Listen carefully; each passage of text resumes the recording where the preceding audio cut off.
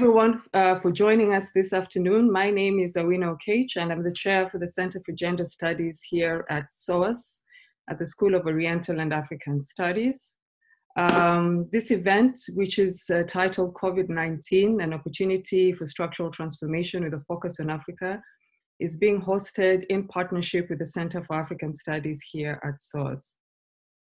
I am very, very pleased to have uh, with us a panel of uh, friends, uh, colleagues, um, and uh, comrades, if you will, that I have worked with previously and people who I currently work with at, at the university where I teach who are going to be having this conversation uh, collectively with us. Uh, I will begin by introducing them and then talk to you about the structure of the conversation that we will have. Um, we have with us um, Brian Kagoro, who is uh, talking to us right now from Johannesburg, who is the programs director of the African Regional Office of the Open Societies Foundation. We also have with us Godwin Murunga, who's talking to us now from Nairobi, Kenya, who is the secretary's, executive secretary of the Council for Social Science Research, which is also known as CODESRIA, based in Dakar, Senegal. The uh, CODESRIA is headquartered in Dakar, Senegal. We have with us Everjoice Win, who is the Programs and Global Engagement Director for ActionAid International. We have Lucia Kula, who's a doctoral researcher with the School of Law at the SOAS, and Seraphin Kamdem, who teaches at the Africa section of the Department of Languages, Cultures, and Linguistics. As I mentioned at the beginning, this is a conversation of COVID-19 in Africa with the key question, does this present uh, an opportunity for structural transformation in Africa? We have framed this uh, panel though around a central question, and the central question that we are focusing on uh, emphasizes the role of leadership, the nature of governance, and social capital in coalescing citizens around the response mechanisms to COVID-19 in Africa. Because this is a virtual event that we are live streaming at the moment and also recording, I would like to ask that if you're not a member of the panel, please mute your video as well as your microphone Later on in the conversation, we will have an opportunity for you to engage directly with the panelists. So if you have any questions, please make a note of those and we shall turn to them uh, 45 or 50 minutes into the conversation. Now, to start us off, uh, I'm going to ask each of the panelists to reflect a little bit on the, on, on the first question, which is really around what are the ongoing responses telling us about the current situation or the current condition of our continent. And I want to begin with you, Brian. If you could offer, offer us a continental overview, what are you observing uh, when you um, assess, analyze the ways in which different Afri African governments have responded to the challenge of COVID-19 in Africa? Uh, thank you, Awino. Um, when you look across the continent, uh, there have been five strands of response. Uh, the first and most instinctive is the cut and paste response that uh, what governments have tended to do is just copy and paste what they saw happen in Wuhan, in Italy, uh, in the, US, the, UK, and the US. Uh, the second, and related to, to, to, that first, has been the uh, militarized biomedical response. So most of our governments treating this as a war, deploying the military uh, to enforce regulations that have been made. And of course, the point to be made later on on how these regulations sometimes uh, are totally divorced from the context. Uh, so if you have informal settlements, you're washing, asking people wash your hands regularly, uh, sanitize, uh, socially distance in, in, in spaces that this is not possible. The third response has been a, a, um, an attempt to blend science and politics, but with politics still dominating. So if you look at uh, the responses in Rwanda, uh, the responses in South Africa, uh, some of the responses in Uganda, uh, you saw similar responses in Egypt uh, and elsewhere.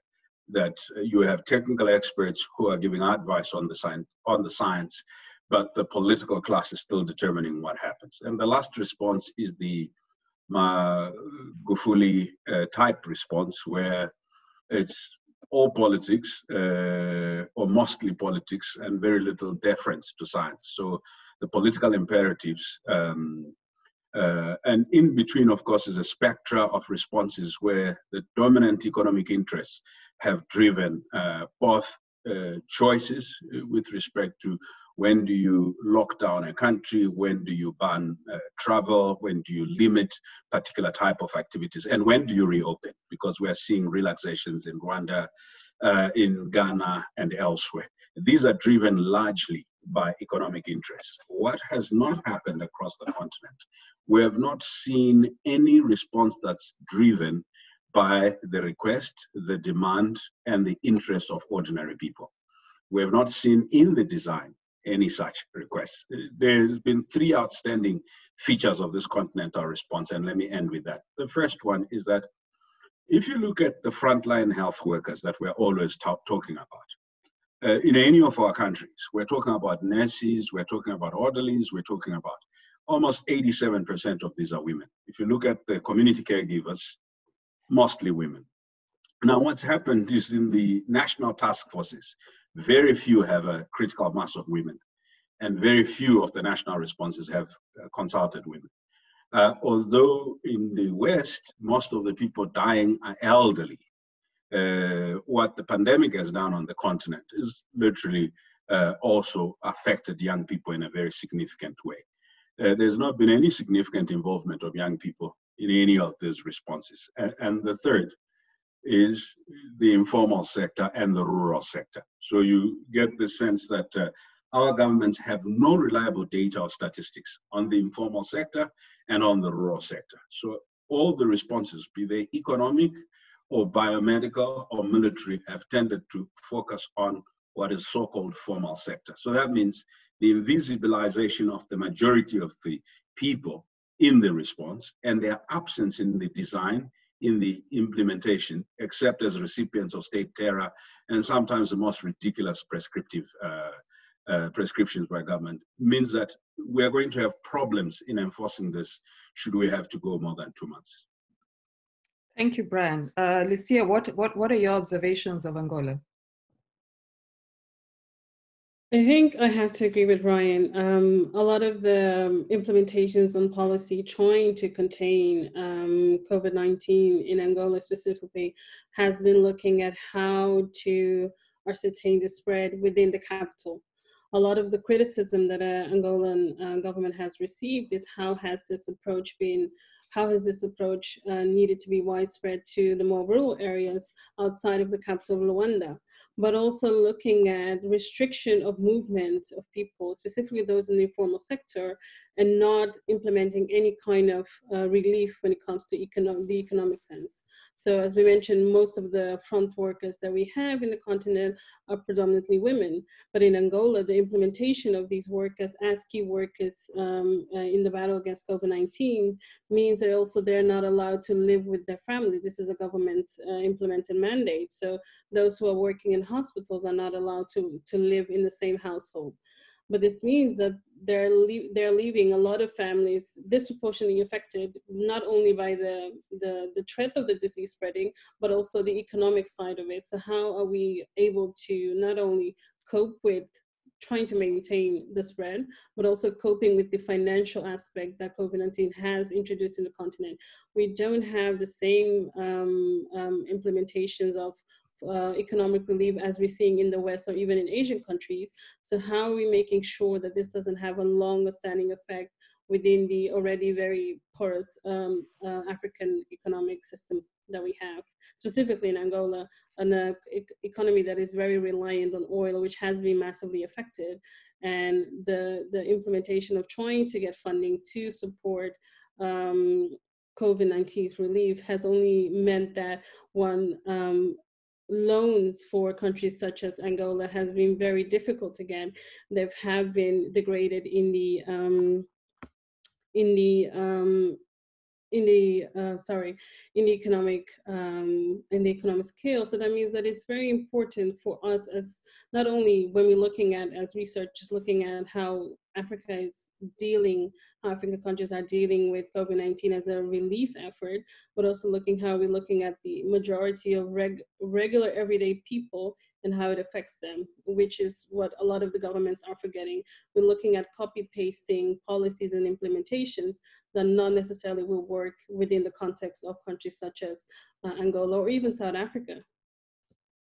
Thank you. Uh, EJ, when this, uh, when COVID-19, you know, sort of escalated in the UK, I spoke to a student of mine from Rwanda and I asked how her family was. And her immediate response was, you know, we are fine. We trust the government. We know this is a government that is very good at dealing with crisis. People are not worried in Rwanda. Would you argue this is the case in Zimbabwe? How fortunate it is for the Rwandese. Um, thanks very much. And uh, largely agreeing with Brian and, and, and Lucia's points, but I will answer your question first. Um, you know, that, that's the biggest challenge that we have in Zim um, you know, people do not trust the ruling party, government, uh, which is the same thing. Um, people do not trust the statistics that are being put out. Um, and one often hears, you know, on the corridors, people say for every, if they say there are four people, you should always multiply that by 10. Um, and this doesn't come out of a vacuum. Uh, this is a government that has been known to hide information um, uh, the population is largely dependent on one public broadcaster, which is ZBC, which is state owned, um, and therefore information is tightly controlled. Um, you know, the one big newspapers, again, you know, largely state controlled, whether it's the Herald, the Chronicle, Manica Post, um, a few independent ones. Um, so largely people will then depend, I would say, on social media, which is where the conversation is happening. Uh, but within that already you see, you know, uh, that the large majority of the population is excluded.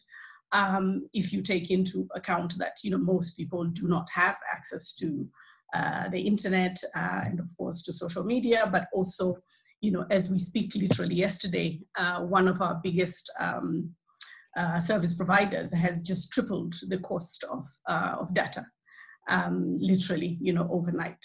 Um, but I also want to, you know, paint a picture of, you know, what was the, in medical terms, they would say the, the pre-existing conditions, right, on which um, COVID comes into play in, in, in the case of Zimbabwe, right? Um, so one is going back to the issue of, um, of, of, of trust in the state.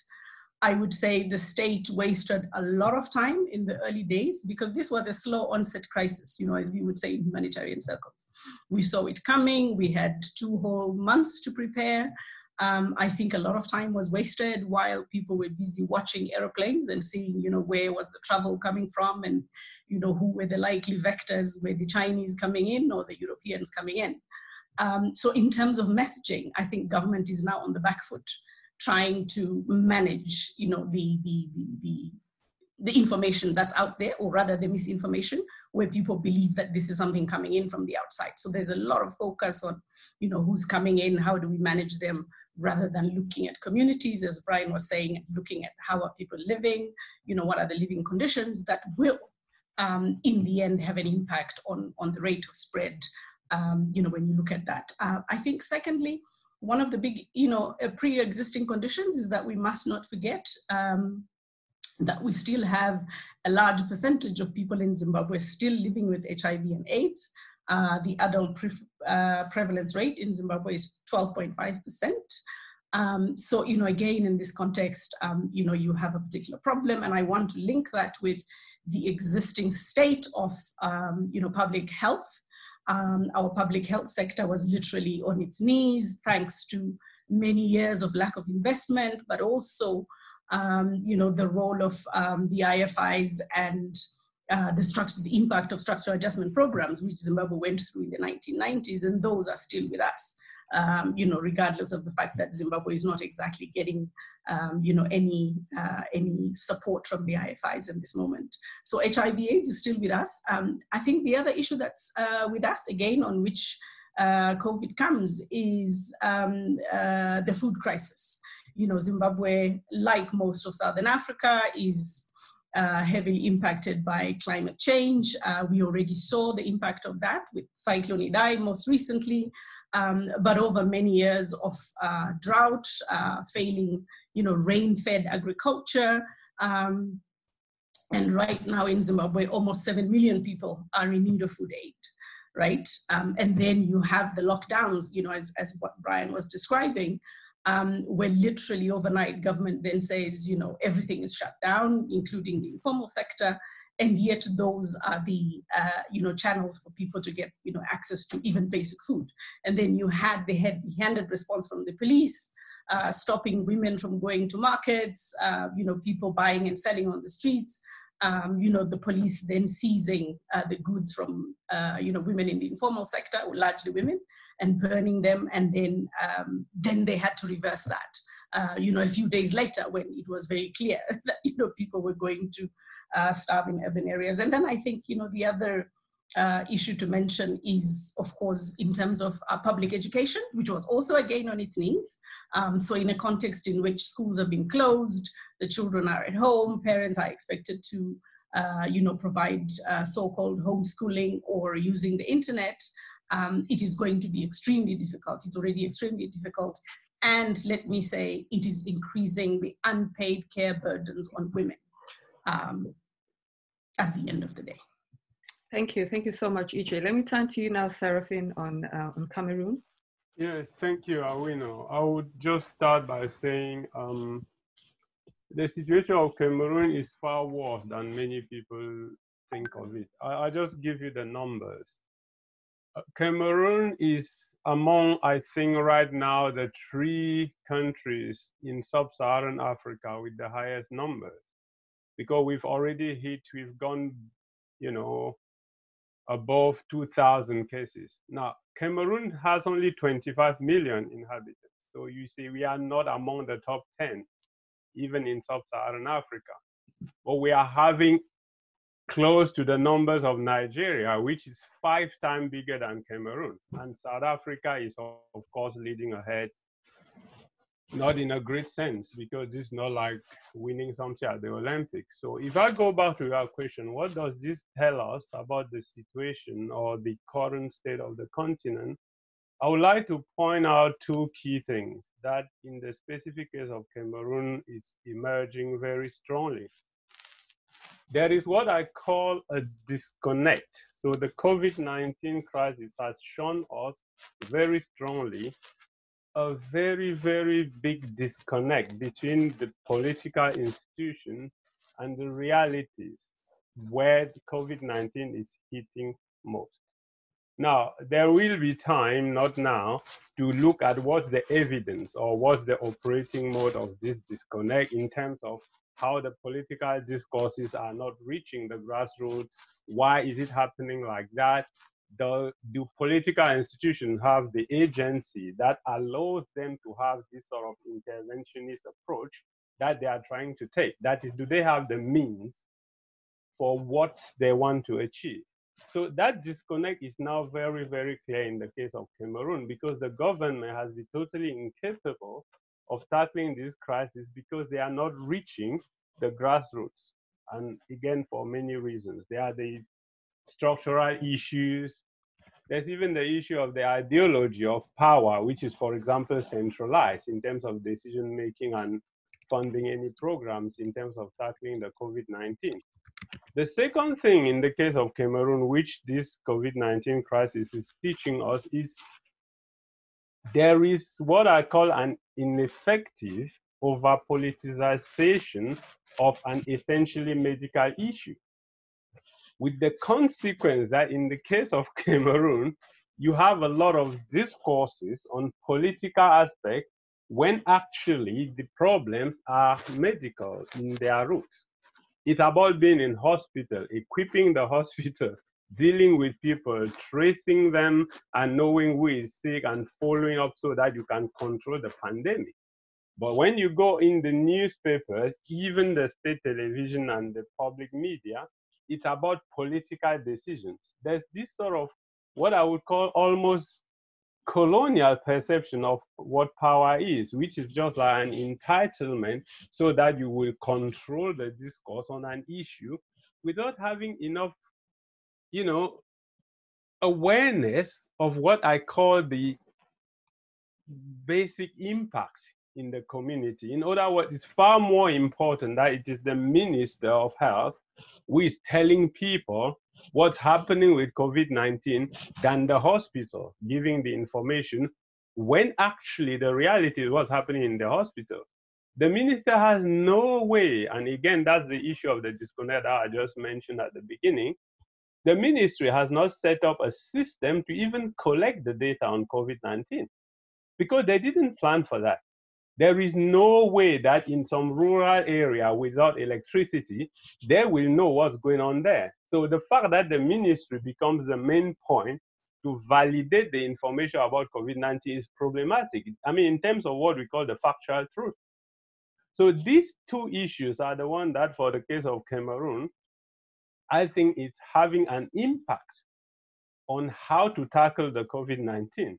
That there is this sort of literally, you know, hugging the, the, the podium of COVID 19, where the politicians, the political institution, the government is the only people who are even, even as this morning, deciding that if a private a charity is trying to help the community, then they must go and get an authorization from the administrative authorities, not even the medical authorities, and that it, they must have some evidence that they have been given this authorization to help communities. So people are dying. You want to bring them some help, which is what this is all about. But oh no, no, don't help them. They may die because you need to go back to the local administrative authority and get an authorization. I mean, this is surreal, but this is the reality of Cameroon as early as this morning. Thank you. Thank you, Seraphin. Godwin, I'm hoping you can pick up on something here that Seraphin has said as you talk to us about Senegal or Kenya, whichever one that you choose to focus on. I get the point about politicizing a response to the issue, but can we really argue that this is not a political issue, right? I can see it's it is a health question that raises, in my view, political concerns, and, and politics here is politics writ large. Um, because I think there's a risk here, much you could trace also the responses to HIV AIDS in the early years of dealing with a, an issue only as a health concern and then realizing that there are other social and economic repercussions. But develop on this a little, Godwin. No, thank you very much. Uh, actually, as uh, Seraphin was talking, I, I thought that uh, the bigger point is not whether it's uh, a politicization of an essentially medical question, or on the other hand, uh, a medicalization of an essentially socio-political problem. There is an interplay uh, between those two things, and I think finding the balance uh, is what everybody is struggling to do. And unfortunately, in, in, in most cases, uh, we've only begun to confront the, the truth of the matter that uh, medical problems don't happen in heaven. They actually happen in a socio-political environment. Uh, it raises very interesting economic questions. And if you're not prepared to handle those things uh, and balance the different uh, uh, dimensions to it, then you end up uh, worsening a situation that would have been uh, better uh, dealt with. And so one of the disappointing things I, I see is that um, we've mobilized doctors, we've mobilized health officers, but I'm not sure we've thought through about the social context within which this disease is this epidemic is uh, this pandemic is happening. And perhaps in this particular case more so because uh, we're not here for the short term. Uh, I, I, don't see any signs that uh, we're going to be dealing with this uh, in the short term. Uh, i think we are there in the long term. And i was listening to i think the minister of health for singapore who came up with a tripod and says that uh, there are three things that are critical to dealing with the, with, with, the, with the pandemic. One of which is uh, the, the, the, standard of healthcare. Uh, what do you have in your healthcare system that can deal with this? The second one is the quality of governance, uh, which is perhaps what uh, tends to get uh, a shorthand if you approach it strictly as a medical problem. But the third thing he pointed out was um, social capital, the capacity to get uh, the communities to buy into the methods that you use in order not just to control the pandemic, but also to deal with the consequences of how we have dealt with this pandemic. Uh, in most of Africa, uh, I would say in Kenya, for instance, uh, we've been playing catch up, uh, perhaps for understandable reason that we didn't really know how to deal with this thing. Uh, so it's been a, a, catch up from the airports, especially the international airports, following the, the, the pandemic into to places. And I think it's only this week uh, that uh, we've really begun uh, to do even the basic testing that we need to do uh, in order to deal with this pandemic. And the consequence of that, going back to the point that Brian made, the consequence of that is the cut and paste method is not going to work at all. Because how do you seek to flatten a, a, curve where you do not have the requisite data to know whether in fact uh, how the curve looks like in the first instance.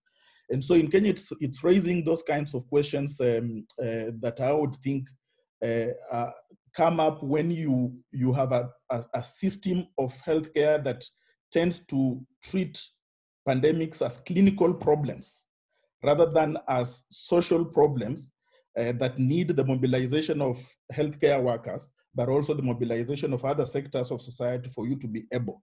So to, to, to, to, to, to, to go back and look at uh, um, uh, the situation in Senegal, uh, if you do not have a fine understanding of how societies are organized, then the key things that could play into a pandemic like this, uh, you, you, you most likely are not going to get it right.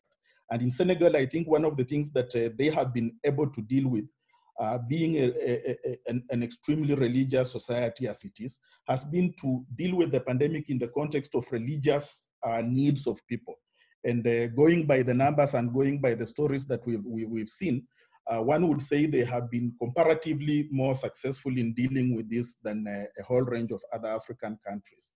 Uh, but again, I just want to conclude on the point that investing in the social capital is going to be a good thing. A young uh, colleague, a young friend of mine wrote and said, dealing with this pandemic is not about necessarily what we are going to do tomorrow, it's what we did yesterday. And I think that's a fine warning shot uh, for how we need to think about it. Mm -hmm.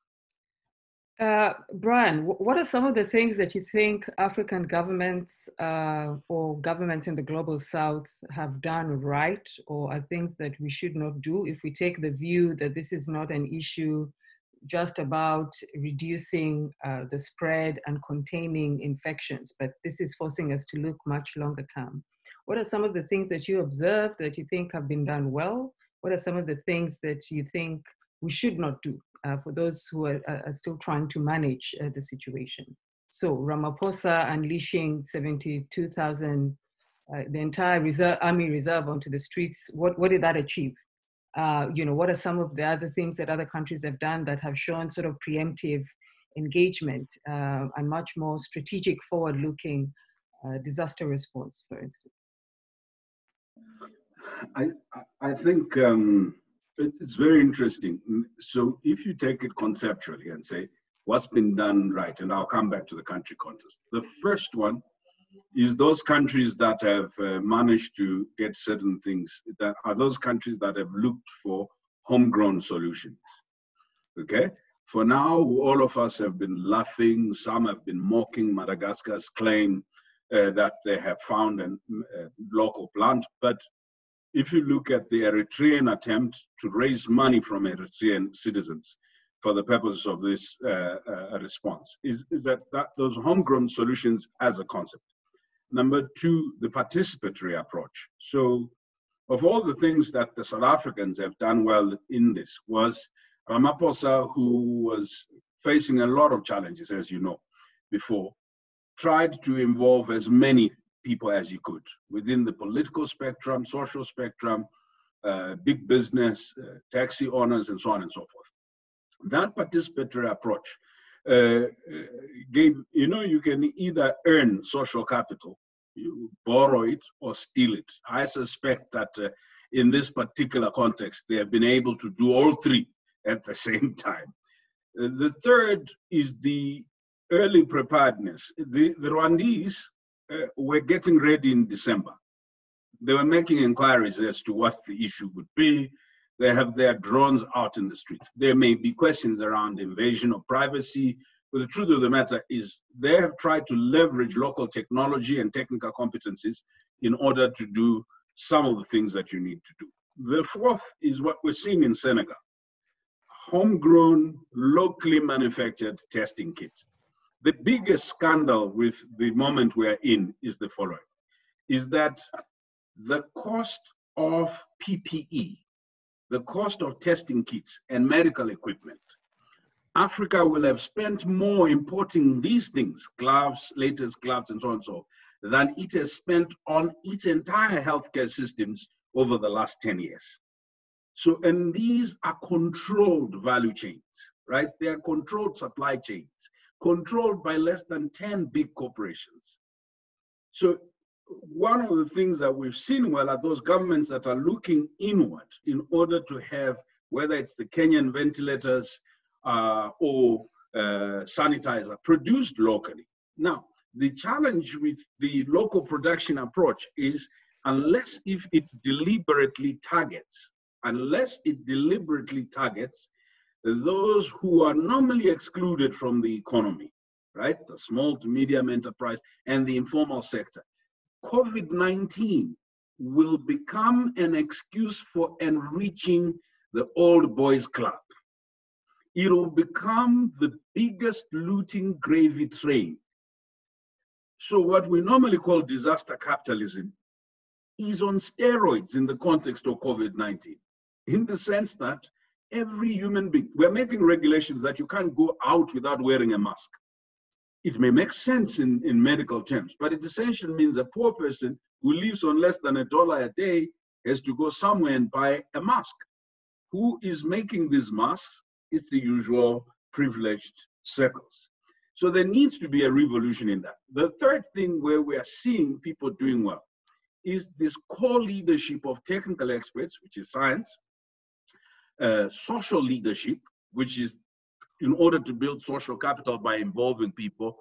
And the third is clear political direction. Where are we going? Why are we going where we are going?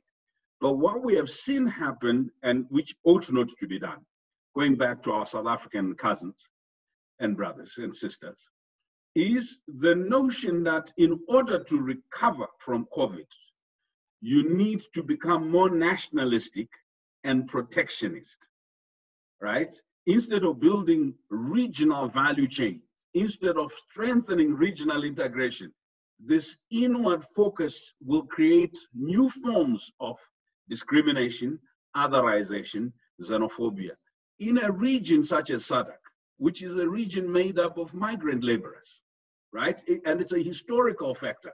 This is how the prosperity and infrastructure in SADC was built through migrant labor. The same would be for West Africa. Africa needs to disabuse itself from the approach we are seeing in the North, that the survivor is looking inwards, closing your borders. None of our economies are viable without looking outward. The third thing that I see is problematic with all the responses, but we're seeing uh, rays of hope is the notion that COVID is, was the beginning of our catastrophe. As Everjoice and other colleagues have said, COVID simply shone the spotlight on what we failed to do for many years. But COVID became almost, to use a religious term, the social prophet that came to demonstrate how lost we were in believing in trickle down Washington consensus uh, economics, that everything would be driven by the market, that the market would solve everything. Now we have come to a moment where the surest, the surest, the surest assurance of being able to mitigate uh, against the uh, COVID overrun and also being able to transform our countries out of the COVID moment is the African people themselves. What they do, don't do, what they believe in, won't believe in, who they believe in in terms of leadership. The last point is that COVID has also dramatized. You know, we had gotten into a moment on this continent where every idiot could become elected on the basis of a good speech, a good suit, or simply that they dance well to uh. And this has demonstrated that what you need is competence. What you need is capacity. What you need is results-based leadership. So it has regenerated from Cote d'Ivoire to Burkina Faso to Mali, the question of leadership. What kind of leadership do you need? Because when faced with a crisis or pandemic of this nature, you can't, you don't want tomfoolery. You want people who are clear about what needs to be done. Finally, it has demonstrated the lie in our regional integration rhetoric. To this day, we are struggling to find a meaningful pan-continental or even regional, if you take East Africa and West Africa, response to COVID. We had underfunded CDC, we had underfunded everything else that matters to the daily existence of human beings. And we're spending a lot of money building airports, which now cannot function. The things that should could save human life, like hospitals and schools, we've underinvested in. Local economic development, underinvested in. Uh, the social economy itself, underinvested in. So it seems to me that what Africa has done well is that African philanthropists, that's ordinary men and women, and even our big capitalists have woke, woke up and decided that there was no savior coming from America. And thank God for Jack Ma and others who contribute. But the biggest contribution, if you think in real terms, has come from Africans themselves. African women, African men, African youth. African young people are beginning to innovate how to make a mask, how to make this. And we're seeing again our governments who can't look outside for solutions beginning to look inward. And the tragedy of it is they are stealing all these COVID responses and the masks and the ventilators, taking them into their private homes and hospitals because they are afraid to go into the public hospitals. They never invested in any public hospital. So the biggest fear amongst African politicians is contracting COVID, like Boris Johnson having to go into your own hospitals because they know what is the reality. There is no hospital they have invest, invested in, and some are even afraid to go and face local doctors because they are so poorly paid, so undervalued that they would take a revenge on these thieves. Thank you. EJ, do you want to come in there? Thanks, and thanks, Brian. Um, I think again, picking up on, on, on some of Brian's points, um, this is a global crisis that requires global solutions. I think this has been said many times before. And um, you know, the next level down is the region. So again, to bolster that point, this is a regional crisis that requires regional responses. Um, because we know that the artificial borders between our countries, um, the movement of our people across these borders is such that you know it, it, you, you are not going to fortify yourself inside your own national borders no matter how much you try. And i think um, that that that much should be clear. I i i in, in, in terms of you know what what can we learn you know from from other places i i want to come back to what we already know and what we already did as the african continent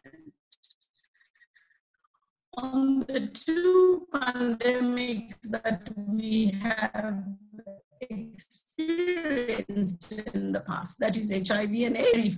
So there are some very positive. So one is the likes that we had around HIV and AIDS are not going to work. Um, and I think uh, Godwin was was talking to that, you know, pretty well. Um, but already we are seeing signs that you know, uh, you know, our government around COVID and not necessarily looking at the whole spectrum of the public health sector um, and everything else that goes with it, because you're not going to be containing the virus only in the COVID wards, right? Um, as as as we saw with, with HIV and AIDS. So we don't want vertical responses; they have to be horizontal and look at the full spectrum of um, of the health sector. Um, I think in, in, in terms of um, some of the very basic things, um, and again, we go back to this whole issue of, you know, how do you build trust? How do you build uh, rapport with, with, with communities, right? Um, if I take the case of Zimbabwe, ZANU-PF is doing what ZANU-PF does best, talking at people. You are not going to get anywhere without talking to people. And the reason I say this is for a very simple reason. You know, people will believe what they believe about something that they can't see right? A virus is something that it doesn't matter how many glaring images that they, you know the newscasters try and put you know behind them uh, all those horrible images of the virus. But people will believe what they believe. So sooner rather than later you're going to have the prophets you know finding their voice and coming in and offering explanation. You're going to have the traditional leaders uh, the traditional you know sort of medical traditional medical people coming in with explanations. We've already seen your Magufulis, we've already seen, um, you know, Madagascar coming up with, uh, with, with uh, you know, their homegrown remedy. And by the way, I'm not saying that's bad. I'm just saying, you know, nature hates a vacuum. So somebody's going to come up with explanation. So right now, governments need to, and civil society needs to engage people, starting with what they know, bursting some of the myths that people are already you know, holding out there and having real conversations face to face, online, when the space opens up, uh, you know, under the trees, as it were, because you're not going to get past the need to engage people and change, um, you know, hearts and minds. Um, I think the other thing that, that, that you know, is, is, is important is, again, as Brian was saying, is local philanthropy is already in motion, right? But we saw this with Cyclone Idai. People mobilized, they got together in churches, in, in social groups, in football clubs, and collected, uh, you know, whether it was clothing, pots and pans, etc. But what happened soon after the crisis was gone? Nobody went back to those groups and tried to work with them and support them and bring them in um, into, you know, being part of the longer term preparedness and disaster management, uh, you know, uh, emergency response uh, mechanism. I think the other area, you know, that I, I, I, have to talk to as, as somebody who works in the humanitarian sector is there is a big conversation in humanitarian these days about so-called localization, right? So what they basically mean there is, um, you know, we must uh, involve more local people, their local leadership, and their local organization. Well, this is it, folks.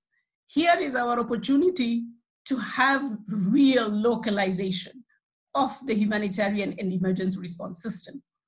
Thank goodness there is no travel right now. The planes are not flying. So the white boys in shorts and bibs are not coming anytime soon to the continent. So this is the opportunity in terms of preparedness, in terms of working with civil society, in terms of working with local groups which governments should seize upon and make sure that indeed localization is going to happen in this emergency, but also in, you know, in other emergencies that, that are coming along. Um, I think, you know, women's movements, as always, uh, what's new, are in the forefront of doing the work, whether it's, you know, being on the front line of doing the unpaid care and the home-based care and, you know, every other care imaginable, we are already doing that. So again, it's to say, bring women's leadership at all kinds of levels to be part of the conversation and invest in that leadership so that women are articulating their own needs, but also the, you know, the needs of the communities and can be part of the leadership of the response. And then I think um, finally the issue of state accountability, right? A lot of resources have been mobilized from local philanthropy, from local people, um, people of goodwill are coming forward. I saw the other day the government of Zimbabwe is now trying to say, okay, this is how much has been donated, etc. But already people are asking, that's all very well and good, but what have you done with it, right? So fostering public accountability as part of the emergency response is going to be very important. And this is where civil society needs to come in to ensure that there is that accountability. And a lot of this we know from the work on HIV and AIDS, as I said, a lot of this we have done before in the work on Ebola. It's about engaging citizens, their movements, and the local leadership. Thank you. Thanks, EJ. Lucia, you're a lawyer, and my question to you in relation to what to do or what not to do is are we to accept that our future is now immunity passports, technological surveillance? Should we just accept that this is the, the, the future we're headed to? I don't I don't think we should just accept it without any conditions attached to it. I think one of the uh, worries that we have is, as we mentioned, accountability, but also that comes with transparency. So if we're looking at government implementing certain measures and um, policy, we want to make sure that it's also done in the same way that it's meant to protect um, people um, healthcare wise. It's also meant to protect their security, so their, their privacy, etc. So we don't want to be able to say that as long as we're walking out this out the street, there are military, there are police everywhere. We're no longer free to move, to have the freedom of movement that we had before. Of course, life will change, as someone mentioned before. This is a long-term um, um, pandemic. This is something that we're going to be seeing the effects for in months and maybe even years to come. But the issue is the issue of accountability and transparency is about how the government and how polit- politicians uh, in within African uh, countries communicate with um, the with local people. So looking at, for example, one of the criticism that Angolan government has received is stating that um, a lot of the measures that have been implemented in COVID-19 relief has been looking at how to curb the spread, but also looking at how is how is healthcare, how is other healthcare communicated, and how is other healthcare provided for people who are already in pre-existing pre, uh, conditions. Angola has a high child mortality rate, but in, in attached to that, now we have women, pregnant women who are scared to go to hospitals or even prevented to going to hospitals. How would that affect the long-standing issue with one, looking at other aspects of security and making sure that people are safe, making sure that people still have access to the rights that they're supposed to have.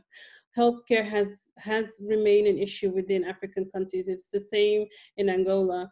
Um, when we're looking at COVID-19, we many speculated at the beginning of the pandemic, like African countries will be ready to deal with a crisis like COVID-19 because of issues like that we have dealt with before, like Ebola, like malaria, etc.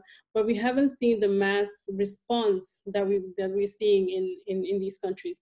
The mass government responses to implementing policies such as uh, social distancing, isolation, not prevent, preventing people to go about their daily routine and, and earning money that influences how we're going to be looking at what are rights. So implementing um, national security measures, we can't just accept that without having any conditions attached to it. We don't want to end up living in military states. And for many African countries, we already feel like we're living in a military state where the government can just come in and do whatever they want. So COVID-19 is definitely giving them the opportunity to implement measures that we wouldn't normally accept in other situations. So I think there, there needs to be a very careful way of engaging the conversation about social uh, restrictions. So, social, creating social capital is not only about making sure that we are ahead of the pandemic, but also making sure that we still hold governments accountable to what they the, to what they're supposed to do to protect their citizens. Okay, Seraphin, would you like to add anything? I think um, the question I'm going to try to be brief, but I it's difficult to talk about COVID-19 in Cameroon without going back to the evidence that we have today of what we are all calling the failure of leadership.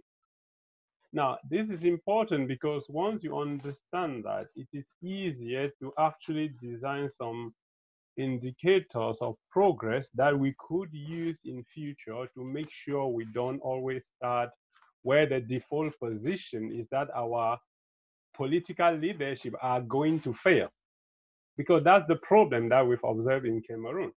And the simple example that anybody can just think about and you know let me know later if that makes any sense is that all throughout the COVID-19 crisis, in a modern republic, we have not had the president of the republic speaking publicly about how the government is tackling the COVID-19 even once. Now, if you have told the Cameroonians that, oh, the president is sick, that's different. Then we know that the president is not doing it because he's sick. If you have told us that the president has traveled, that's different. But this is a country with a president in exercise who has not even bothered to talk to his citizens who are dying for the last two, three months. This is absolutely outrageous. So when you talk of failure of leadership, is not a construction, it's not an interpretation of reality. It's the total absence of the leader to lead the people in a moment of really, really terrible crisis. Once we go from that as something that should not be, but that is right now in the case of Cameroon, we must therefore think about what kind of leadership are we going to be expecting or to actually emulate in Africa, learning from COVID 19? I think we need to define a number of indicators that we need to be able to look across. And this is not just about governance. We want a leadership that should be present as needed, even though actually the default position is that political leadership should be there all the time. We want leadership, political leadership, that should be supportive, doing things that will help the communities and the country move forward we need leadership and going from cameroon is all across a number of countries maybe the case of cameroon is but worse in terms of the number of cases of covid-19 you know uh, patients that we have but also in terms of maybe being the worst leadership we have because we have a dictatorship clearly. He's been in power for 39 years now. So that's how bad it is.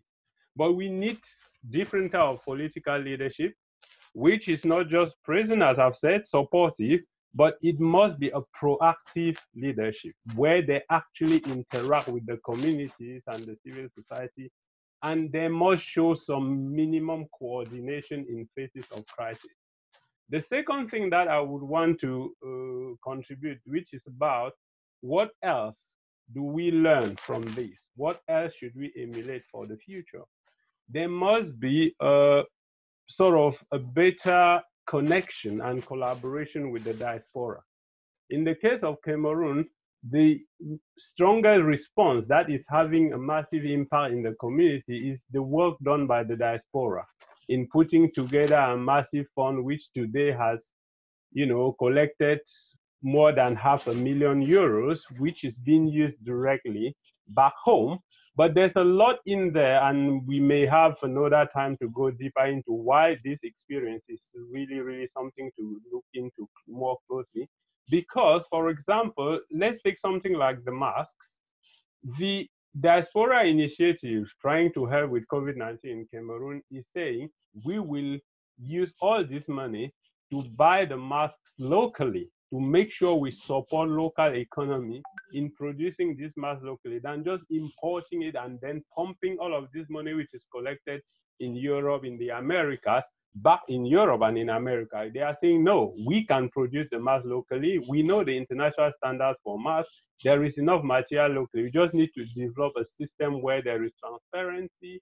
You follow the international standard. And that's having a massive impact because right here, right now, that's not just the big you know corporations making money out of covid that money will actually help develop the local economy in some ways so that's something that we can learn a lot from in the specific case of cameroon. And i think across a number of african countries there is a lot that we can learn once we again that's why i wanted to correct when you were talking. I didn't want to interrupt the problem is not the politicization of what I think is essentially medical.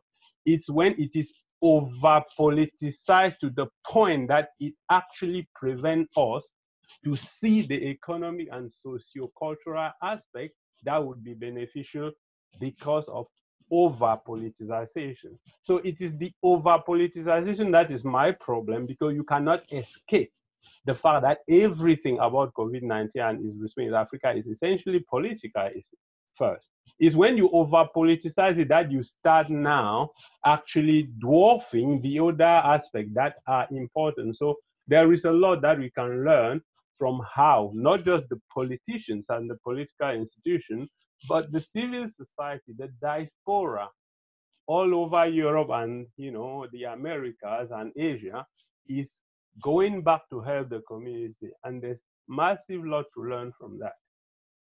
Thank you, Seraphin. So Godwin, we're hearing about diaspora engagement, local philanthropy, learning from previous pandemics and the sort of approaches that have been taken before around that, thinking very critically around uh, the ways in which legislation can be used as, a, as an entry point for much longer term uh, shifts in a society if civil society engagement is not uh, if we are not on board or really uh, holding governments accountable in terms of the laws that are being changed now in order to help government address COVID-19.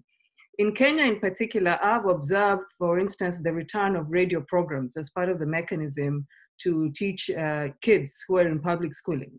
So there hasn't been a reliance on internet, but on radio programs, which is something I grew up with as a child.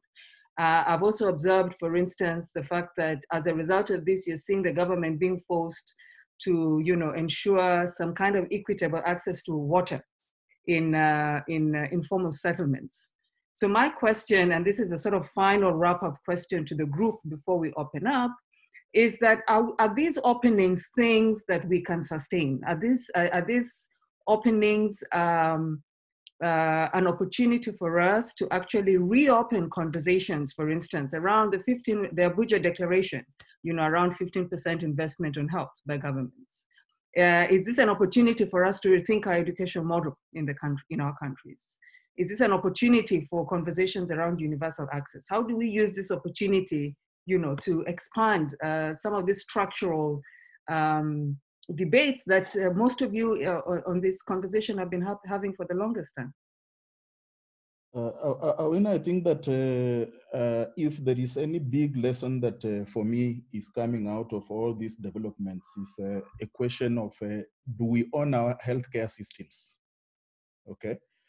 Um, and I think related to that question is the second question, which we have said too many times, and I, I think we tend to forget that the state is absolutely important in the provision of healthcare, but the state is absolutely important in the provision of basic social welfare needs of people. Uh, many of us have wondered at what point the world will accept this simple reality uh, and uh, really do away with the a wasteful debate that takes us into uh, private sector, neoliberal approaches to healthcare, education, and all these things. I think that if there is any big point that is coming up, whether you are in a country like Cameroon where the state is underperforming, or you are in a country where uh, the systems are too militarized, the state is too strong and authoritarian that it makes it difficult for people to operate, or whether you are in um, countries where things are relatively okay, uh, I think the big question that we have to deal with is going to be how do we use the state to define a healthcare system that responds to the needs of communities? Um, at the end of the day, uh, we must acknowledge uh, one thing that there are many African countries that do not own their healthcare systems. Uh, and uh, there are a whole number of countries where our healthcare priorities are defined by donors rather than by, by, by, by, by, um, by, by, our governments. And so at the end of the day, uh, yes, the Abuja uh, protocol is, is, is, is, was right onto the mark, but let's remember that the, these, these, these are protocols that were built on the basis of the Lagos Plan of Action, which had an emphasis on community participation, which had an emphasis on the role of the state, and which attempted to define an African position in relation to many of the development needs that, uh, that we had.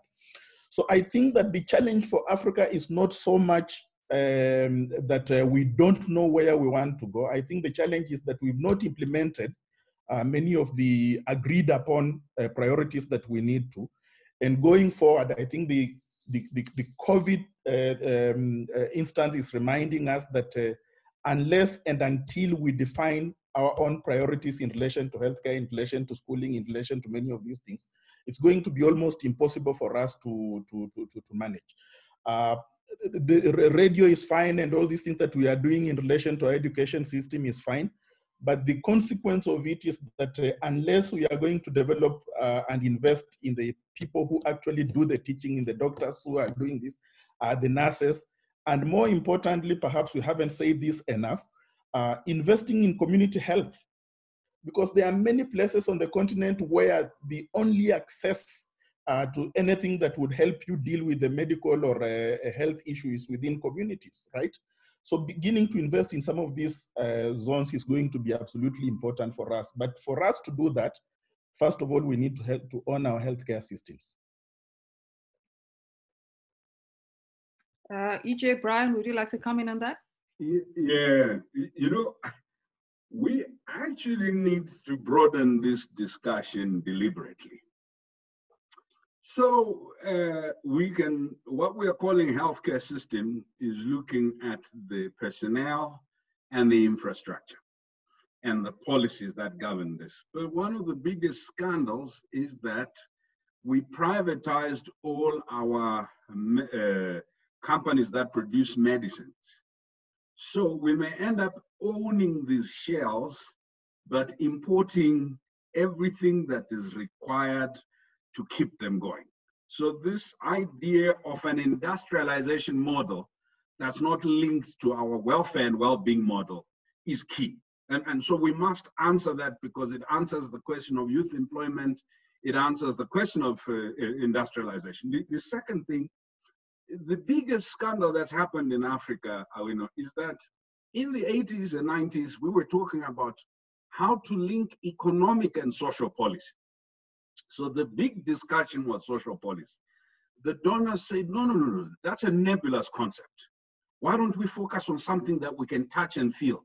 So we went to social protection, right? Uh, cash, uh, what do you call this? Cash grants, payments. And uh, my Joyce and Co will tell you some, some of us protested and said you are treating African poverty or rather impoverishment because it's a poverty manufactured by unjust power, right? You are treating it the same way you treat people who are broke, right? That there is a month end that comes and they will, you know, they'll be okay. This is a structural problem. If you're dealing with a structural problem, so let's address it as such. So I think that we need to have a robust conversation because when we start saying health for all, this for all, we're missing the holistic approach to social policy. Let, me give you a sense. If I live in Kibera, for example, you can have a functional hospital with 10 doctors with everything that's needed in the hospital. I wouldn't have been able to comply with the COVID uh, requirements. Why? Because I have no decent shelter. Why? Because so many of us have to share flying toilets or a pit latrine. Why? Because I can't wash my hands because there is no water. Why? Because some goons have privatized water. So if I live in um, Vaiga, I'm able to get potable water out of a tap. But if I live in Korogocho, or the, I have to buy water. So when you ask me to be constantly washing my hands, you, you are penalizing my poverty. You are criminalizing my poverty. The burden on the poor has been heavier in order to comply with the COVID question. So the opening that stays for us to renegotiate comprehensive social policy that will look at water and sanitation, that will look at shelter, at education, at food. I mean, we import, we import annually 35 billion US dollars worth of food annually. Now you tell me why Africa, with some of the best soils, imports 35 billion US dollars worth of food. There are countries that have not invested in agriculture at all. There are governments that have privatized the entire agricultural enterprise. They, we have not invested at all in the smallholder farmer, right? So, and it's part of resolving the question of women's access to land and other productive resources. We privatized seed, for goodness sake. And we moved into this hyper fascination with chemical fertilizers and poisoned not only the soil, but we poisoned underground water sources. So it seems to me that if the opportunity, the real opportunity is to answer the question, what kind of African development, not only owned and driven by the Africans, but that would be beneficial to the continent in the long term, do we need to be driving? How do we get an African Development Bank and African financial institutions to invest in a development that's inward looking, that's not outward looking, exporting jobs, and that looks for external saviors. And that is the fundamental crisis. Our social policy is almost non-existent. And related to social policy, Everjoice and, and colleagues here, we're talking about the humanitarian response and preparedness, right? The real opportunity at the moment is how do people become the main drivers of a response so that we're not waiting for America to save us, for Europe to save us, but we can save ourselves as we are seeing that. The last thing is that I think the bigger opportunity, and I think Godwin, you talked about it, and Lucia and uh, uh, you know, we had huge debates about public goods. right? Those debates somehow dissipated and everything was capable of privatization. We're in this moment where the biggest scandal is that in the absence of public goods, we cannot guarantee public health or public security. COVID is just one crisis where health has huge security dimensions. Tomorrow it may be water or something else. So if we're to build Africa's resilience and capacity to deal with these things, I'd say let's attend to public goods, public leadership, and public resources. How do we resource our own development? And how do we resource our own priorities? This is the biggest policy space ever created for African governments. And unfortunately, as Godwin has already said, because we abandoned the things that would have helped us, liquidity is a challenge. Our governments have do not have enough money to generate a domestic response to COVID-19. And cancellation of debt will not provide sufficient results or sufficient resources for this. And that's why the rethink, and Everjoice mentioned it earlier, it's a global challenge requiring global solutions, but more importantly, it's a regional problem that require regional solutions. And in finding the regional solutions, you build on the local capacity, competence, expertise, resilience, experience, but you also build on the regional, uh, uh, if you like, competitive and comparative advantage that we have. And, and, and for me, that is it. Thanks. EJ? I just want to make one point, um, and I think it's about civil society. If, if anything else that has been good about this crisis, it's to remind civil society actors like ourselves, uh, many of us on this call, that no single issue organizing is ever sufficient. We said education was the answer, it was never the answer. We then said, I don't know, women's political participation was the answer, we said it was insufficient. So this crisis is showing us that our tendency to take every single thing that we start working on, whatever the flavor of the year is, these days it's climate. Um, but look at how climate has suddenly gone on to the edges of, of the conversation. So we need to organize across movements. We need to have an intersectional analysis and intersectional approach because this is what is needed, what has always been needed, because there are no magical uh, bullet answers to some of the deep-seated structural issues that our continent faces. Thank you. So I'm, I'm going to open it up for any questions or comments from those who are participating.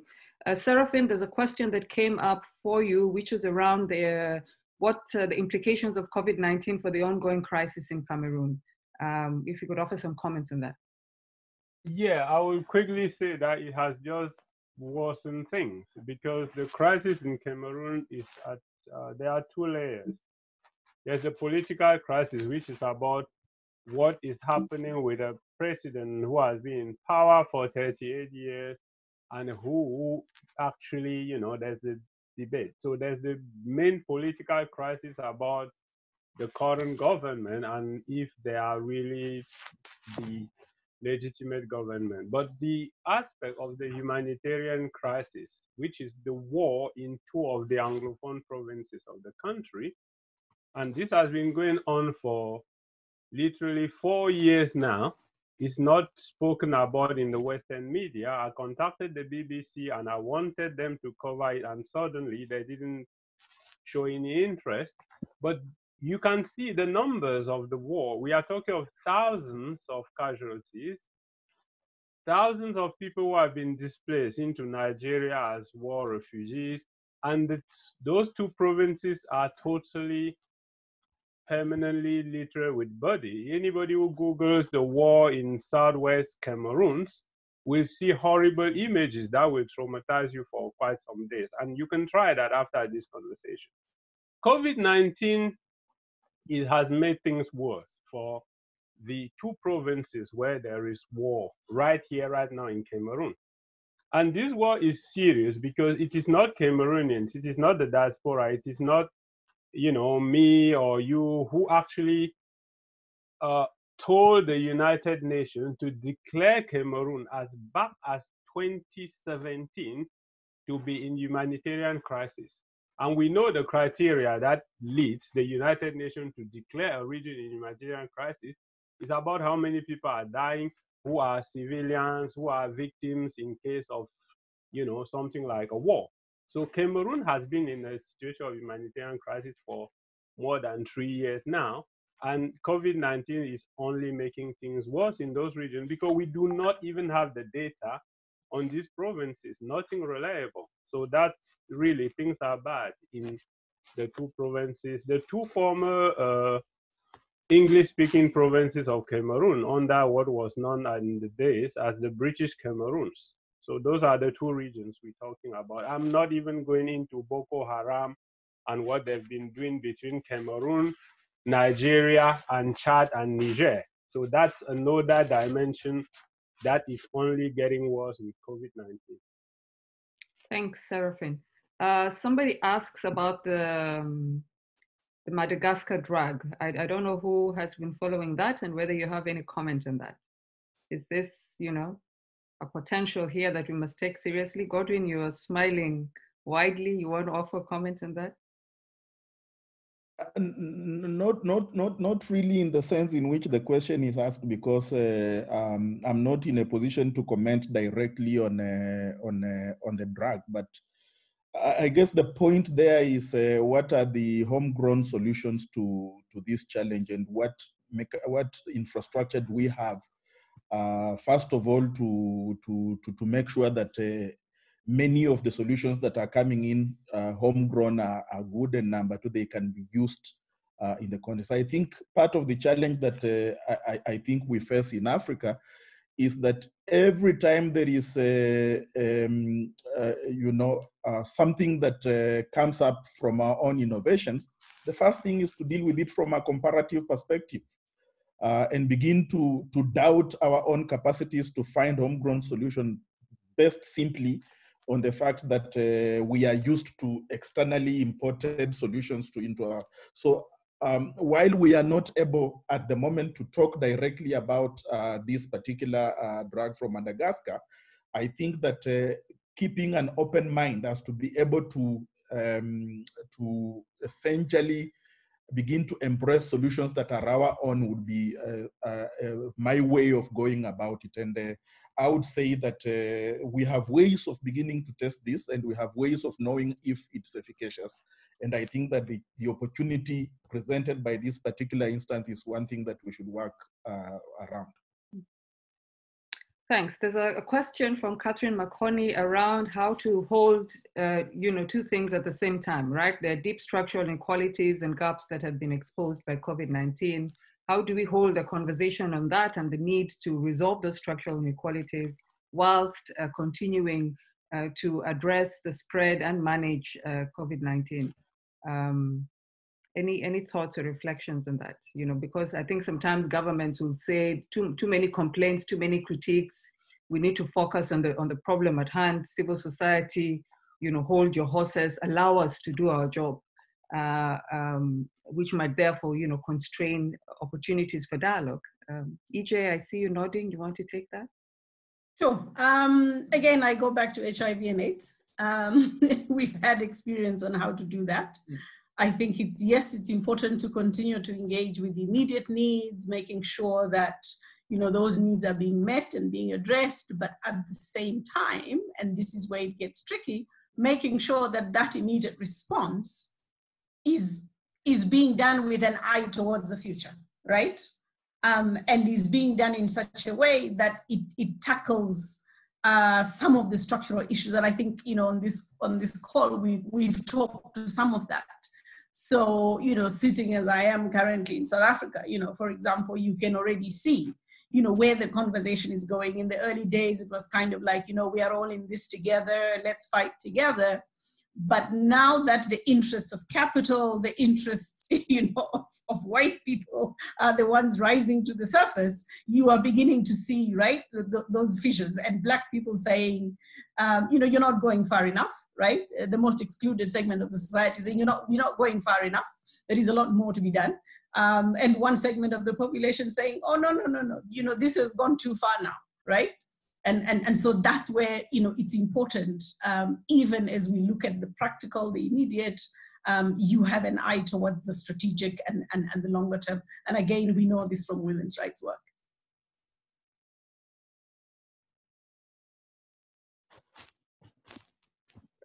There's a question from Sarah Mukasa, which I will, there are two questions from Sarah. Okay, so I will save the first one for, uh, for last uh, to wrap up our conversation together. So uh, if you could just take a note of this so that I don't go through them one by one. There's something about strengthening regional integration vis-a-vis -vis nationalization and internalization. So the point you made, Brian, earlier about the tendency for this crisis to regenerate ultra-nationalist sentiments and the weaknesses of our regional economic communities. How, uh, what is the work that is needed there going forward? Uh, there is a question about Africa's relationship to China in uh, as uh, especially now with the rise of cases of uh, xenophobia and racism in China and our indebtedness uh, to uh, some of us, our country's indebtedness to China. Any reflections on that? Will that shift? Will that open up opportunities for more um, equitable conversations with China? Uh, there is a question around Africa's capacity to resist external influence and do the kind of um, rethinking of the kind of Africa development we want. Um, do we have the capacity to do that? What does the African Union, for instance, need to look like and do um, to enable that? That's another question that you might want to take up.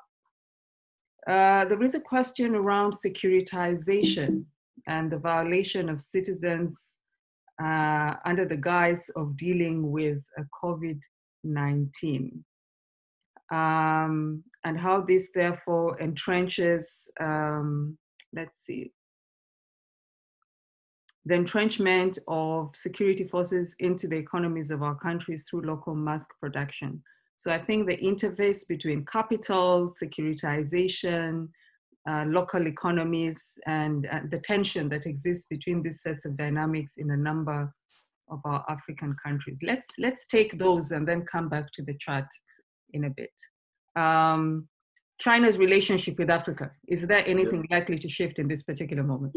Yeah, I, I think that um, uh, there are two things that are driving the China-Africa narrative. One is the usual xenophobia, which is driven also by the West, uh, and, and, therefore China is the enemy of everything. The second thing driving the China-Africa narrative is the the uh, practical objective reality and experience of Africans in China and on the continent. Uh, the challenge is that up to now, the eighth FOCAC, which is the premise upon which the partnership is couched, was literally given to African leaders by uh, China. There was no conversation, no dialogue of the framing of the eight principles in the, of the various principles in that. And I think that African citizens are going to take a lot more interest in how to ensure that that framework of cooperation is subject to some set of agreed rules and also open to some scrutiny. And I saw the letter by the Africa Human Rights Defenders to the chairperson of the African Union and also observed what the Ghanaian, the Nigerians, and the African Union, uh, African Commission said about the racism in China. The biggest challenge in China-Africa relations is that it's been government to government. There's never really been effective people-to-people connections between China uh, and Africa. And the attempts to establish Confucian institutes is insufficient to establish a people-to-people connection. So I think that is where that connection ought to happen. There are issues of accountability of Chinese corporates and other actors. There are issues of violations of rights. There are issues of racism. There are issues of opacity in some of the agreements. There are issues of illicit financial outflows. There are issues of spying. There are issues, all sorts of criminal and other activities. But there are also instances where China invests a huge amount into the continent, but those investments are not accounted for by the political class because of the opacity. And if Beijing really wants to be a friend of Africa, and Africans as opposed to a friend of African dictators. That framework of cooperation needs to be opened up to certain principles, certain values, and a monitoring and evaluation framework, which would bring me to the conflation of what we're calling the African private sector, African militaries or security sector, and also the political elite. I think that we have an opportunity in this as citizens.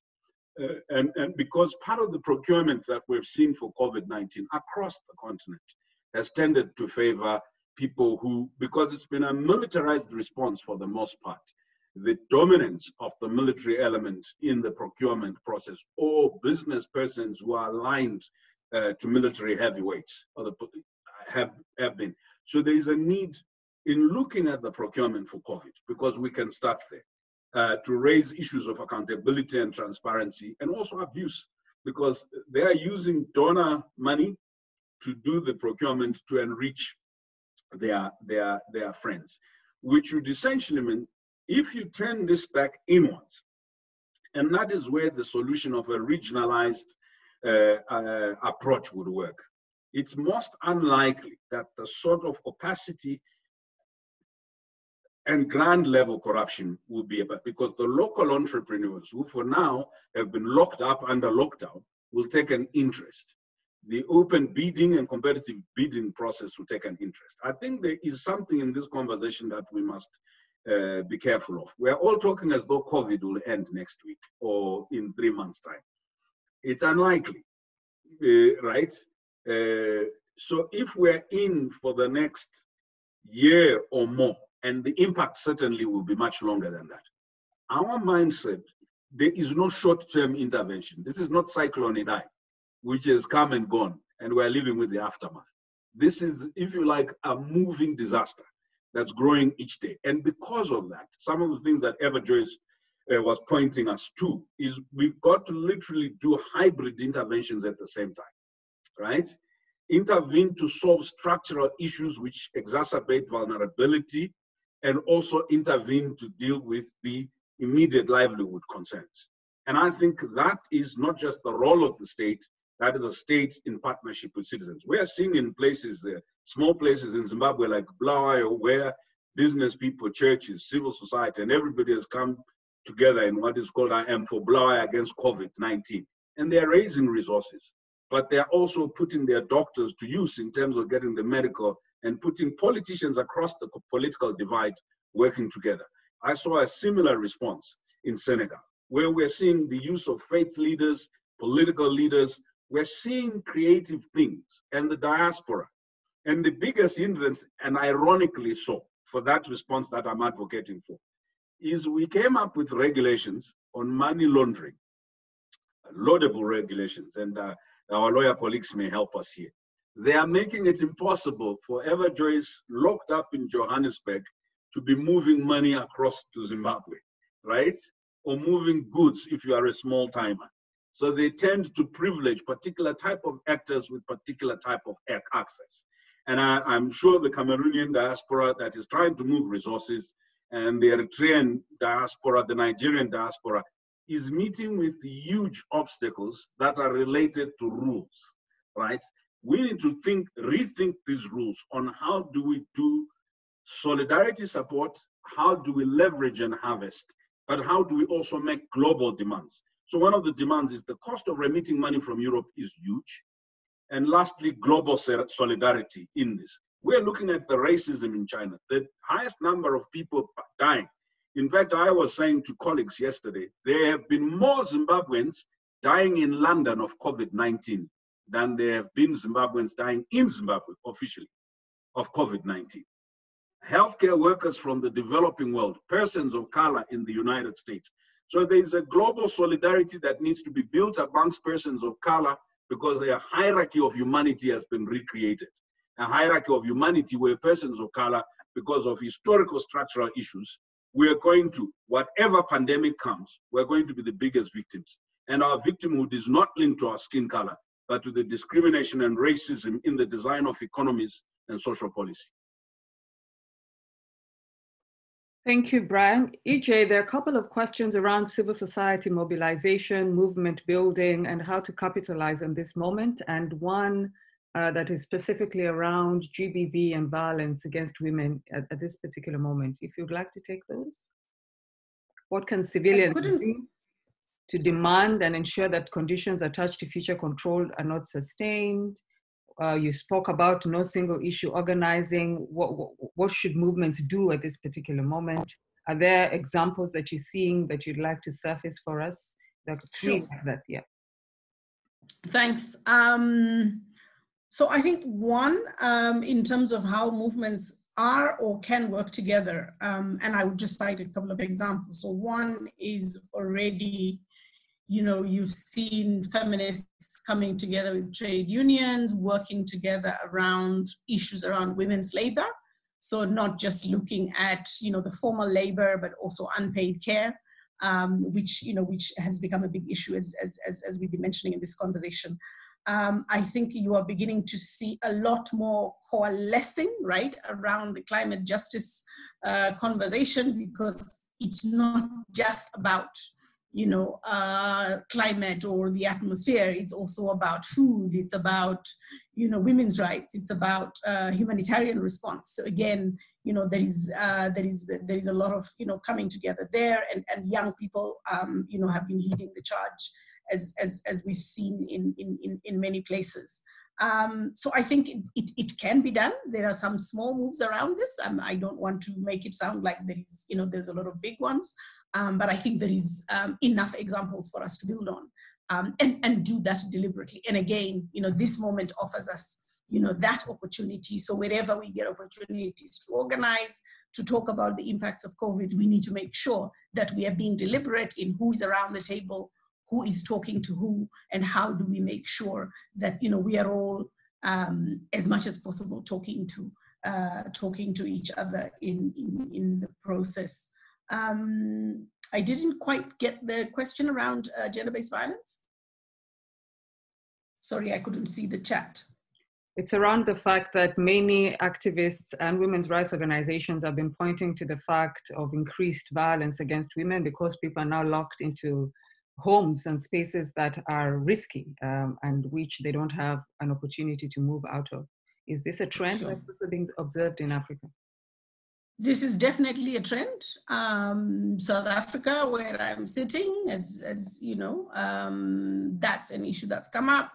And uh, fortunately, in this place, there is a system in place. System is in place for tracking, you know, for um, keeping up with the numbers, and definitely in terms of how the state is, you know, giving out information on what are the trends and what's going on. That's something that uh, information is being shared. Um, and again, on Zimbabwe, where I was talking to, um, a lot of work being done by existing women's organizations. Um, uh, example of you know an organization like Musasa, which has reported seeing an increase uh, not only in the numbers but also in in, in the in the needs for shelter. Um, and so again, having to partner with uh, a lot more people to, to, to make that happen. So certainly, yes, there is, um, you know, a trend across, you know, many different African countries. I've just, you know, given those two. Um, but I think the important, you know, issue again there to say is this is an important moment and it's an opportunity also for us to fight for an increase in state resources, in, in, in um, you know, investment um, in terms of making sure that there are facilities um, that the state itself is able to respond, um, including the, you know, the justice system, um, you know, etc. And and this is a moment, you know, uh, that that that that we may not see again. So it's important to to to to make sure that we make uh, use of this opportunity. Thank you. Brian, might Brian or Godwin, might you have or want to offer commentary on the test kit in Senegal and whether it's being rolled out to the rest of the continent?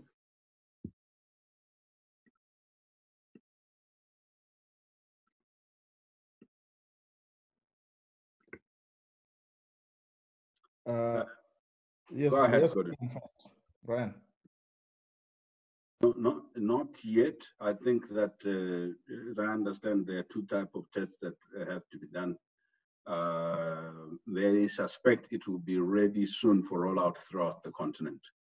Uh, there's the rapid test, but they have another second test that you have to be able to do both uh, to say to, uh, uh, if you like, to clinically prove that a person doesn't have COVID. Thank you. So yeah, but there are already people starting to order or inquiring about ordering uh, from Senegal because of the price. Um, yeah. Okay. Godwin, there was a question about what is it about the way in which Senegal has mobilized the religious community that has worked? Because in other countries, uh, somebody talked about Spain, where religious groups have felt uh, excluded from the conversation. What is it that Senegal did? Uh, is it just basically the fact that the country is organized around religion, so there's no other way around it, or was there something uh, unique about the Senegal approach? Um, I, think there's something historically unique about the Senegal approach that compared to perhaps many other places uh, in Africa that uh, that I have. Uh, I've lived in Senegal now for for three years, uh, and uh, one of the things that immediately strikes you living there is how much uh, both Christian and Muslim populations live alongside each other in ways perhaps that uh, uh, you don't see in many other countries, including my own country, uh, Kenya. And I think that right from the days of uh, Seda Senghor, the way the, the levels of religious tolerance between religions, but also between the state and, and, and, different religious groups, perhaps is much, much better developed so that what you are seeing now is built on a, a sound basis of, um, of, of, historic uh, relationships built over time. And uh, I mean, anyone who has lived in Senegal also will, will very easily notice uh, the, the, sense in which the state respects uh, religious uh, groups and organizations and the religious beliefs of people and the way in which uh, different politicians, but perhaps also really the, the presidents, different presidents of Senegal, the way they relate to the different religious groups um, you ignore religion, religion in Senegal, you ignore as perhaps the, one of the most important singular basis of building legitimacy in politics. And uh, so I'm not surprised that it's happening now. Uh, I'm actually, when I spoke about uh, social capital at the start of this discussion, uh, religion has been uh, an important basis for building this capital in Senegal. And uh, uh, yeah, it's become a useful basis for, for dealing with what would otherwise have been a devastating uh, pandemic in that country. Thank you very much. It's uh, 1531 here in London, so I would like to wrap up. And I want to wrap up by just offering each of the panelists an opportunity to close out with a final comment, your final core messages, um, and again, just thanking everyone once again for joining us for what has been a very insightful conversation. So let me start with you, Lucia. Final messages uh, or closing uh, statement. My final thoughts would be like would be on how governments are interacting with COVID-19 relief. So looking at healthcare implementations and comments um, that, for example, people in Angola have said is um, has the Ministry of Health become the Ministry of COVID? Are we just focusing solely on COVID 19 and not really looking beyond what we already mentioned during the session is what opportunities is it can bring in dealing, for example, with malaria, which is a big issue in Angola. So, excuse me, my reservations are that we perhaps are expecting too much to come out of the responses that we can get from our African governments more so because, as um, mentioned, if you look at governments who are not responding at all, we're not engaging with their um, with their citizens directly. If you have a president who's been in power for 38 years, who hasn't addressed the nation in whatever capacity when dealing with a pandemic, you have to wonder what the political uh, expectations are for people, but also the political expectation for those involved in um, the relief. So, are we just doing this to say that we are taking actions and that we are trying to prevent the, um, the disease to spread even more? Or are we doing this in, in a way that we think that is going to prevent future disasters? I think for um, Angola specifically, one of the biggest motivation for the current government has been the elections in 2022. So a response to COVID-19 sets the sets the groundwork for how the how people will respond to any type of engagement with the current government. So making sure that governments are not only um, accountable but also reliable in their support and in their responses. So that would be my uh, final thoughts on this: making sure that we hold governments not only accountable, but we so but we can also actually rely on the implementation of positive change and long-term change. Thank you. Seraphin? Yeah, I mean, that's a number of things that I will touch on, but very, very quickly. First of all, the whole idea that many governments are not responding because of lack of resources, that must be challenged. And I'll just give a simple example with Cameroon.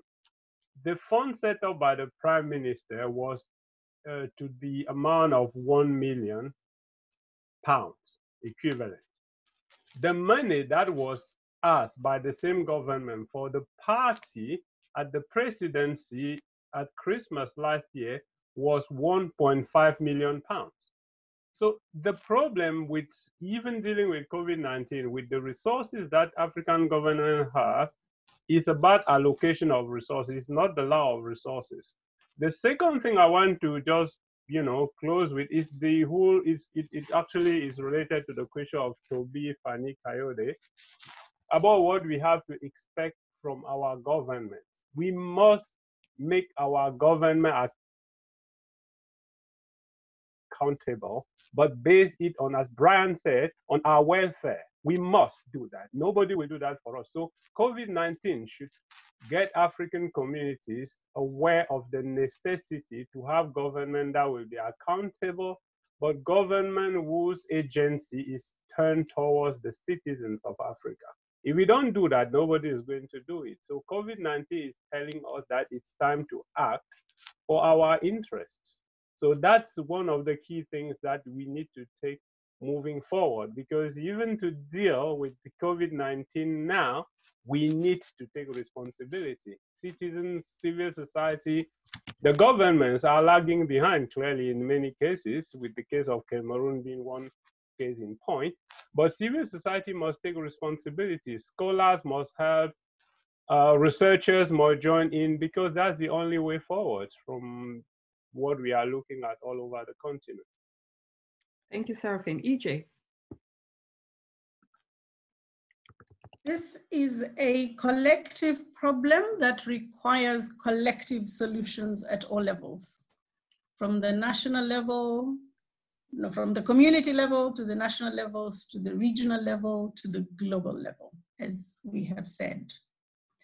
Secondly, it's important to involve the people and talk with the people and their movements and organizations and not to talk at people because people know what the problem is. They will have the solutions and if governments and civil society take the people seriously, this is one of the surest ways in which we will be able to deal with COVID.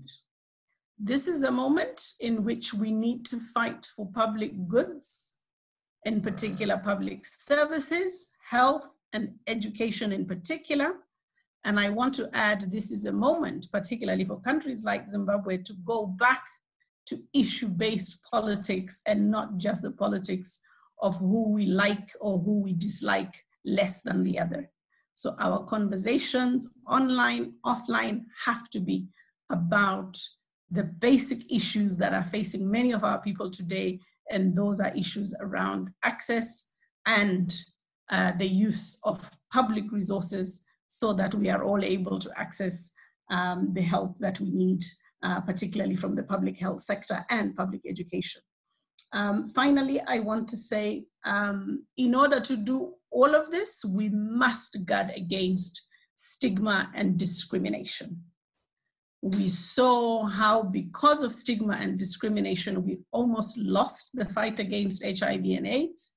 We had the same experience with Ebola, and we lost so many years, if not decades, in which we could have responded and HIV and AIDS would not have been um, as catastrophic as it ended up being on our continent. We have the opportunity with COVID, but already signs are that there is a lot of stigma, a lot of discrimination much of it being peddled, unfortunately, by the media and people who should know better. We have to guard against stigma and discrimination and playing the blame game. Otherwise, once again, we will lose a lot of time, we will lose a lot of momentum in which we could have made change happen. Thanks. What do we need finally in terms of leadership? Let me say it the kind of leadership that the world needs today. It has a name. It's called feminist leadership. Thank you, EJ. Thank you. Uh, Godwin, your closing comments, and if you could say something about African universities, if you can, and research. Uh, thank, thank you very much, uh, Awino. I think that um, uh, if there is one big lesson that I would want to carry out from this discussion, uh, is that um, we need a shift in our mindsets. Um, and, and that shift must be a shift that uh, allows us to put at the center of, uh, of this discussion around COVID uh, the fact that our problem is not a, problem of funding. Our problem is not a, pro, a, a, medical problem. Our problem is uh, beginning to center our priorities uh, as a people. And I think um, Brian did uh, make this uh, this point, and uh, I would like to piggyback on it. Uh, it's really a point about reconceptualizing ourselves in the context of our Pan-Africanhood and beginning to see the sense in which there are inbuilt solidarities that are useful to uh, reformulating our thinking and shifting our mindset in a way uh, that allows uh, um, uh, to, to, to, do the right thing. And uh, the, the place of research uh, is going to be absolutely important. The need uh, to invest in, in, in, in, forms of knowledge that uh, allow us to put those priorities, African priorities, at the forefront is going to be absolutely important. Um, uh, over the last couple of, of, of days uh, sitting uh, in CODESRIA, I have received numerous, numerous invitations to participate in meetings to partner with institutions to do different things. And one of the things that uh, has made it extremely difficult for me to operate has been that we hardly know in, in, in real data sense what we are dealing with in the context of this pandemic. And yet we have partnership proposals that uh, want to find solutions to, uh, to an issue that we hardly understand. Uh, and so for me, I think African universities have an opportunity to begin to, to build uh, new forms of knowledge that uh, would help us understand what we are dealing with. Uh, not uh, in the broad sense of uh, the COVID pandemic, but really in the broad sense of how that pandemic interacts with the different contexts that we deal with on the, that we have to deal with on the continent um, this would be a sound basis for beginning to, to, to build a, a, knowledge base uh, that would actually bring out the priorities that we need to.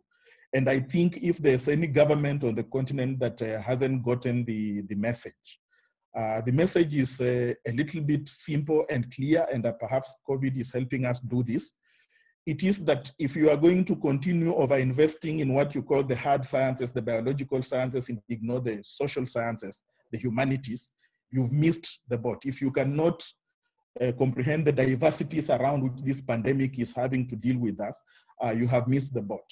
And I think that uh, better partnerships are going to have to bring an interdisciplinary approach that appreciates the different dimensions of the issues that we are dealing with. I do not think that uh, the infrastructure has is, is, is really there from outside Africa to deal with this question. I think research institutions on the continent are going to have to do this and uh, um, that is the only way that we are going to, to, to shift this mindset that I'm thinking about. So the mindset shift is critical, absolutely critical uh, to me. Thank you very much. Thank you. Brian, your final um, messages?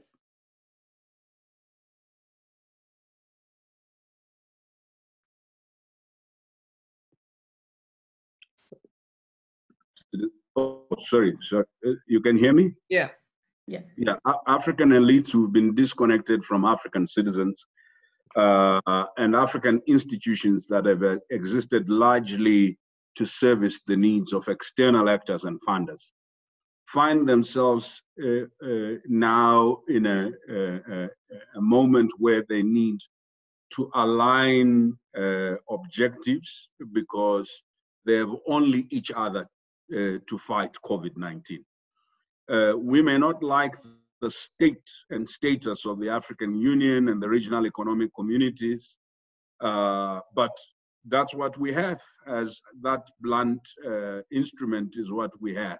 We, we have only Africa, CDC, and our dilapidated health infrastructure and systems to fight this. So in a sense, all of us need to introspect and think about Africa's exclusion from global diagnostics market, Africa's exclusion from global uh, supply chains, Africa's exclusion from global development finance and global governance, whether it's the UN Security Council Africa's exclusion from global solidarity, other than what you have seen from Jack Ma and a few people. So, in a sense, this forces Africa to focus again on the conversation of Africa's place in the globe and how the race to the bottom, where we approach the world as single little non-viable states, is unlikely to guarantee our safety and security in the face of a pandemic any other pandemic other than COVID-19.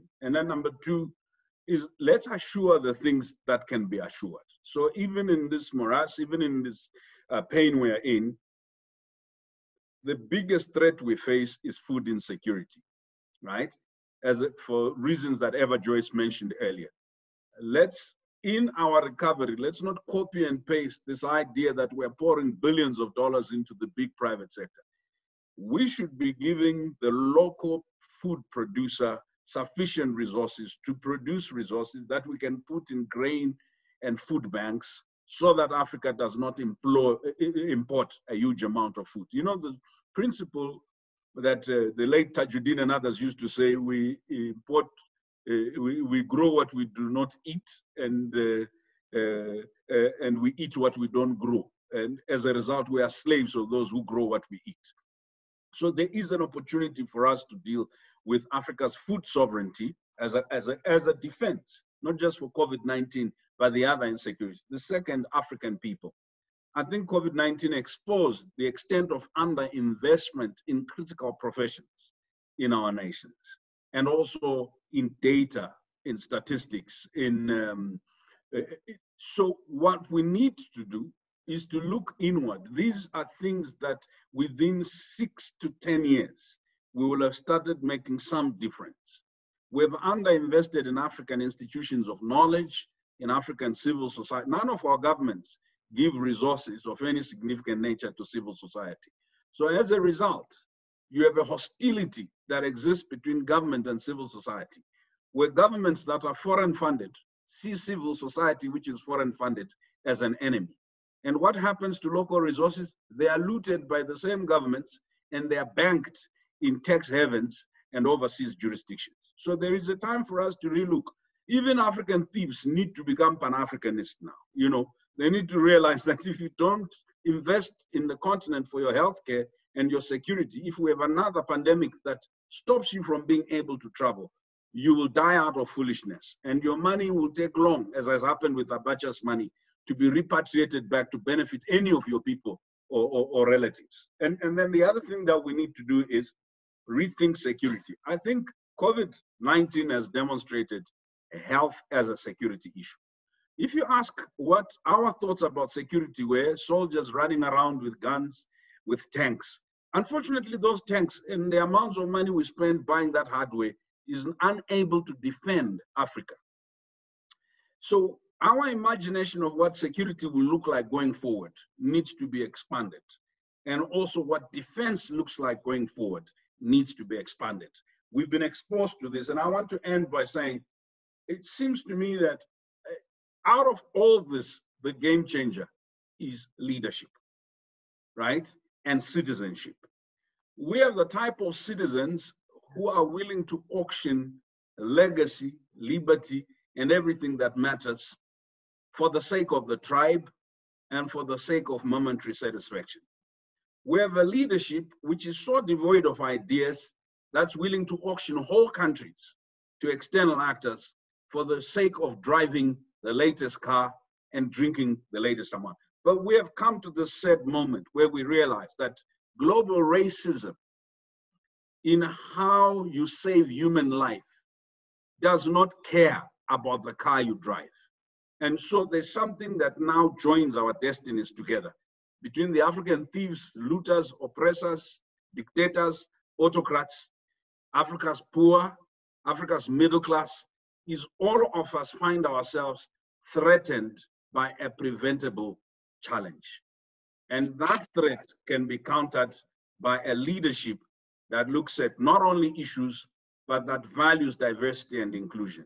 We are dysfunctional not only because of external factors, we are dysfunctional because we exclude young people, we exclude women, we exclude people from those faiths or ethnic groups that we don't think are valuable enough. And yet we are so ready to, to include outsiders in couching and fashioning the things that we need for survival. So the change for Africa is both a mindset change, a behavioral change, but a focus that says nobody will save us. If we are lizards in Africa, we'll never be crocodiles elsewhere. If Africa is in a mess, it doesn't matter how well educated, how well spoken we are, we are also part of that mess.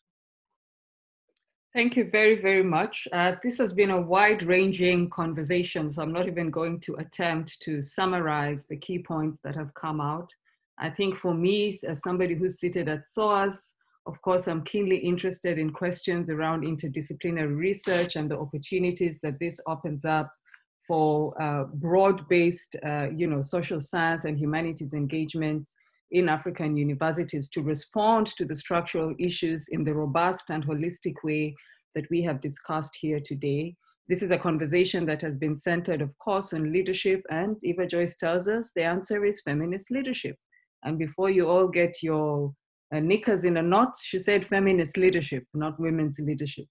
Um, and obviously, the key point here uh, as well, the final point is around the space that has been opened up for local philanthropy, tapping into diaspora engagement, recognizing that we have a lot of the human and economic resources to be able to rewrite the continent's narrative, how we mobilize that, how we ensure that that is not squandered uh, by um, people in places uh, that are effectively uh, selfish rather than looking towards people-centered engagement is one that civil society, social movements that are currently thinking about responding to the crisis, but also looking forward into the long-term repercussions have to keep in mind.